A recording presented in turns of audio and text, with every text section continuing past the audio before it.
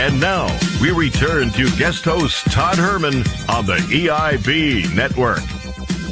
Uh, coming up, I have an unbelievable update about the uh, seizing of a city from self-described Antifa members. Just got a note from someone. Witnessed something incredible.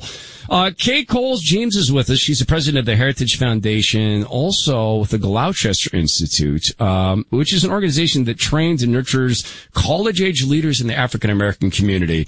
I wanted to talk to you real quickly, Kay, about uh, the coronavirus recovery. There's a lot of us who are feeling very, very anxious to open up, um, and a lot of people like me see no scientific reason at all that the schools should be shut down and um, I'm beginning to feel like this, that, that, that I, I feel perhaps the president has been misled a little bit, uh, by some world health leadership that, uh, what are we going to do? How are we going to get back opened? Well, first of all, I would commend to you the report of the National Coronavirus Commission, which I have the privilege of chairing, and on June 15th will come out with over 250 recommendations for how to do just that at the Heritage Foundation, we were aghast that uh, it seemed as though we were so focused on just the health side without recognizing that livelihoods were at risk. So we decided to think through that issue and say, okay, if we could make recommendations to the president, to Congress, to governors, to mayors, and to community leaders what what is the best advice that we could give them so you will see 250 plus recommendations on how ju- how to do just that I will tell you that uh, there were many, many lessons learned in the last three months. Not the least of which is uh, that uh, we need to really do a better job of teaching civics there were governors and mayors who exceeded their authority based on law and the Constitution uh, at the federal level.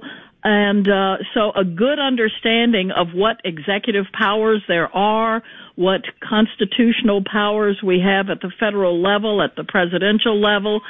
And so we need to get all of that very clear because when this happens again, and it likely will, uh, we cannot repeat some of the same mistakes that we're making right now. But the virus was one deadly killer.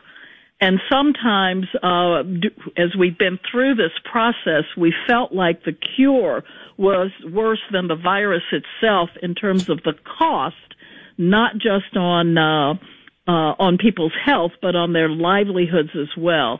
So we decided you have to do both. You have to protect health and you have to protect livelihoods. It's not an either or. We must do both. So my admonishment to people is as we get back to work, please, please do it safely. Uh, we can uh, uh adhere to some of the advice that's coming out about how to do that. But what we don't want to see is another spike in the numbers and then a reversion back to some of those strict uh, guidelines that we saw coming from our governors. So the American people are smart folks. We can do it. We can do it safely, and I think we will. Well, I just uh, hope that you guys will have a strong eye, and AG Barr will have a strong eye on, uh, on states that don't want to reopen and want to slow walk that because there's a lot of us who live in these states, Kay, who are convinced that some of these governors want to do that. I want to thank you for coming on Rush's show. I join you in prayers for Rush as he fights his battle that he will win. Kay Cole James has been with us, president of the Heritage Foundation. It's heritage.org. What else do people need to know to reach you, Kay?